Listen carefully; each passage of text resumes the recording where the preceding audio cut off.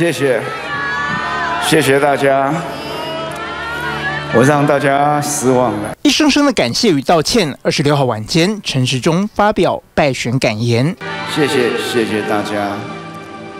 但现在台北市民选择了另外一位的未来市长，因此我希望大家和我一起诚挚的祝福蒋万安，因为台北是我们热爱的故乡，无论在什么样的一个情况下，我们都会真诚的祝福他。上台前已经先致电祝贺蒋万安。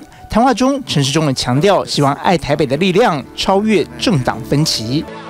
面对二零二二台北市长选举的败选，是我自己努力不够，在这里我向大家致上最深的歉意，很抱歉，我努力不够。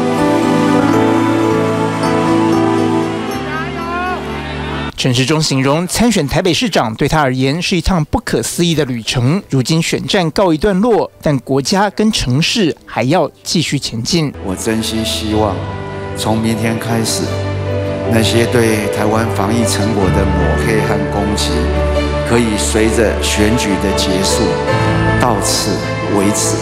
安尼好不？天佑台湾，天佑台北。谢谢，谢谢大家。再次鞠躬告别一百三十七天的选将身份，走下舞台，陈时中的语气也明显轻松得多。他部长之后呢，会继续从政吗？先沉淀一阵子再说吧。TVB 新闻台北综合报道。